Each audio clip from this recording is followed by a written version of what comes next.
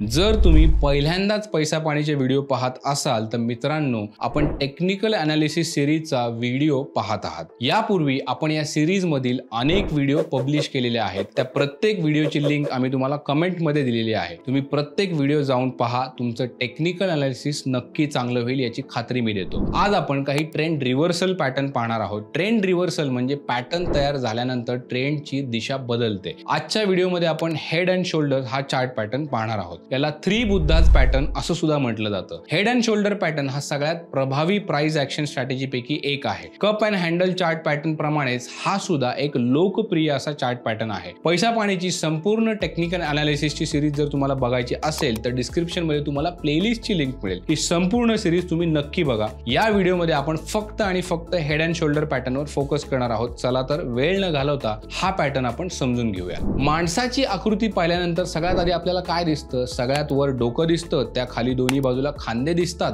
आणि अगदी तसाच दिसणारा असा एक पॅटर्न आहे. त्यामुळं त्याला हेड अँड शोल्डर पॅटर्न असं म्हटलं जातं. हेड अँड शोल्डरचे दोन प्रकार आहेत. पहिला म्हणजे नॉर्मल हेड अँड शोल्डर आणि दुसरा जो आहे तो उलटा हेड अँड शोल्डर प्रथम आपण नॉर्मल हेड अँड शोल्डरबद्दल बघूयात. जेव्हा बुलिश ट्रेंड सुरू असतो तेव्हा एका विशिष्ट रेझिस्टन्स लेवलवरनं ट्रेंड रिव्हर्स व्हायला सुरुवात होते. इथेच पहिला शोल्डर म्हणजे लेफ्ट शोल्डर तयार होतो. त्यानंतर एक सपोर्ट घेऊन प्राइस पुन्हा वर जायला लागतो. पण पुन्हा पुढच्या रेझिस्टन्स लेवल पर्यंत जाऊन पुन्हा त्याच सपोर्टवर येते. यावेळी हेड तयार होतो. आता या सपोर्ट वरून प्राइस पुन्हा वर जाऊ लागते आणि पहिल्या शोल्डर इतकाच उच्चांक गाठते. दुसरा शोल्डर बनून प्राइस पुन्हा सपोर्ट लेवलवर येते. हा झाला दुसरा म्हणजेच राईट शोल्डर या ठिकाणी दोन्ही शोल्डरच्या उच्चांकामध्ये थोडा फरक असू शकतो. परंतु तो जास्त नसावा. दोन्ही शोल्डर्समध्ये जितके अधिक साम्य असेल तितकाच हा पॅटर्न अचूक बनेल. हेडचा उच्चांक मात्र नेहमी दोन्ही शोल्डरच्या वर असला पाहिजे. इथे जी सपोर्ट नेकलाईन आहे तिला नेक लाईन असं सुद्धा म्हटलं जातं. हे झालं पॅटर्न कसा दिसतो याबद्दलची माहिती. आता आपण या मागची सायकोलॉजी काय आहे ते जाणून घेऊया प्राइस जेव्हा बुलिश ट्रेंडमध्ये असते तेव्हा हायर हाय आणि हायर लो बनवत असते. हा ट्रेंड वर जात असतो. परंतु हा ट्रेंड जेव्हा एक मोठा अपमूव घेऊन रेझिस्टन्स लेवलवर जातो तेव्हा सेलिंग प्रेशर तयार होतं. त्यानंतर प्राइस पूर्वीच्या हायर लो पर्यंत येऊन पोहोचते. यावेळी प्राइस बुलिश ट्रेंड लाईनच्या खाली आलेली असते. या ठिकाणी रेझिस्टन्स लेवलवर शॉर्टिंग करणारे ट्रेडर प्रॉफिट बुक करतात. त्यामुळं प्राइस खाली पडते आणि नवीन ट्रेडर बाईंग पोझिशन घेतात. बाईंग झाल्यामुळं प्राइस पुन्हा एकदा वाढू लागते. इथे प्राइस जास्त न वाढता बुलिश ट्रेंड लाईनला रिटेस्ट करून पुन्हा नेक लाईन पर्यंत येते. इथे दोन शक्यता असतात. एक तर प्राइस कन्सॉलिडेट होऊ लागते किंवा नेक लाईनला तोडून ती खूप खाली पडते. मोठी बेरिश कॅन्डल बनून इथे ब्रेकडाऊन जर झालं तर इथे शॉर्टिंग करण्याची संधी तुम्हाला मिळू शकते. या ठिकाणी लक्षात ठेवण्यासारख्या दोन गोष्टी आहेत. पहिली म्हणजे लेफ्ट शोल्डर आणि हेड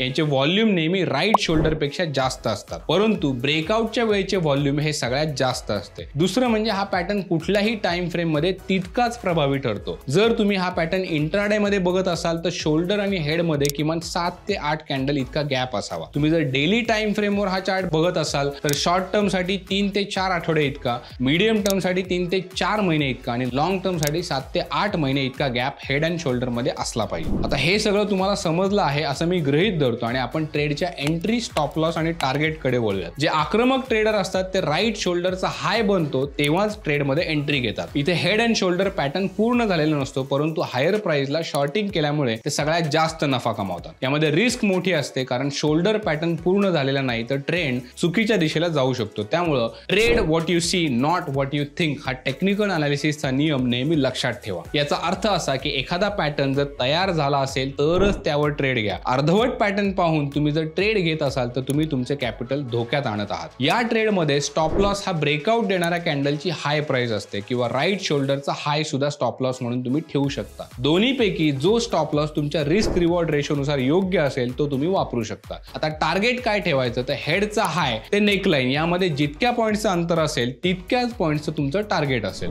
हे सगळं झालं हेड अँड शोल्डर पॅटर्न बदल. याच्या बरोबर उलट दिसणारा inverse head and shoulder pattern तुम्हाला चार्टमध्ये दिसू शकतो. Head and shoulder pattern bullish ट्रेंडचं रूपांतर बेरिश ट्रेंडमध्ये करतो. Inverse head and shoulder bearish ट्रेंडचं bullish ट्रेंडमध्ये रूपांतर करतो. हा पॅटर्न कसा दिसतो हे तुम्ही स्क्रीनवर आता पाहू शकता. हेड अँड शोल्डर पॅटर्नमध्ये जसं तुम्ही एंट्री स्टॉप लॉस आणि टार्गेट लावता त्याच्या अगदी उलट तुम्हाला इनवर्स हेड अँड शोल्डरमध्ये करायचं असतं. आता मी तुम्हाला या दोन्ही पॅटर्नबद्दल काही महत्त्वाच्या टिप्स देणार आहे. आपण पाहिलं की हेड अँड शोल्डर हा ट्रेंड रिव्हर्सल पॅटर्न आहे. काही वेळा मोठ्या अपमूव्ह देणाऱ्या बुलिश ट्रेंडमध्ये तुलनेनं छोट्या मूव असणारा हेड अँड शोल्डर पॅटर्न तयार होतो. अशा वेळी पॅटर्न ट्रेंड रिव्हर्सल ऐवजी ट्रेंड कंटिन्युएशन पॅटर्न ठरू शकतो. ट्रेंडची दिशा बदलण्यासाठी हे पॅटर्न मधील मूव्ह जे आहे ते ट्रेंड मधील मूव्हपेक्षा मोठे असले पाहिजेत. छोटा पॅटर्न हा मोठ्या आणि मजबूत ट्रेंडची दिशा बदलण्यासाठी सक्षम नसतो. हीच बाब रिव्हर्स हेड अँड शोल्डरच्या बाबतीत सुद्धा लागू होते. दुसरं म्हणजे हा पॅटर्न जर रेझिस्टन्स लेवलवर तयार झाला तर तो सर्वाधिक परिणामकारक ठरतो. रिव्हर्स हेड अँड शोल्डर हा सपोर्ट लेवलवर तयार झाला तर तो अधिक परिणामकारक ठरतो. आशा आहे की हा चार्ट पॅटर्न आता तुम्हाला समजला असेल. व्हिडिओ जर तुम्हाला आवडला असेल तर व्हिडिओला एक लाईक नक्की करा. टेक्निकल अनालिसिसचे असेच व्हिडिओ जर तुम्हाला बघायचे असतील